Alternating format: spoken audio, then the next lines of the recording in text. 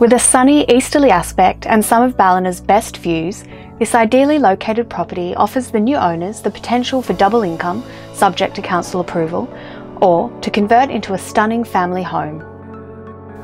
The lower level of the property is currently being used as an open plan one bedroom studio with a large living room and bedroom opening out onto a sunny veranda. Upstairs is a spacious three bedroom apartment with a large open plan living, dining and kitchen. All of this opens out to a balcony showcasing breathtaking views of the Richmond River, Shaws Bay and the ocean. The property is close to a number of popular cafes and offers easy access via Ballina's many cycleways to the beaches and the main town centre.